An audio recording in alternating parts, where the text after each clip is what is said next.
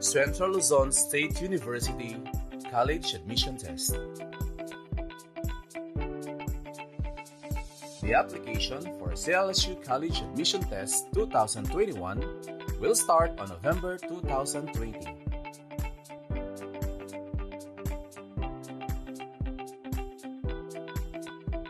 Please prepare in advance the following.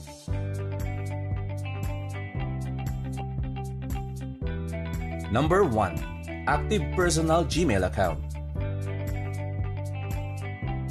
Number 2. Photocopy of NSO or PSA birth certificate. Number 3. Photocopy of report cards.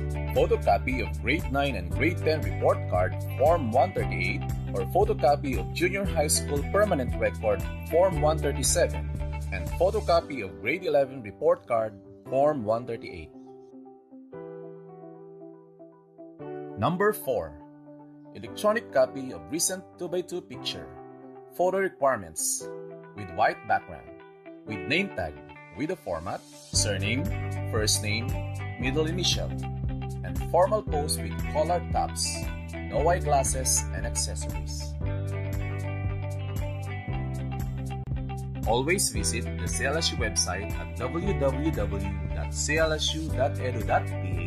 or the CTEC Facebook page for further announcements.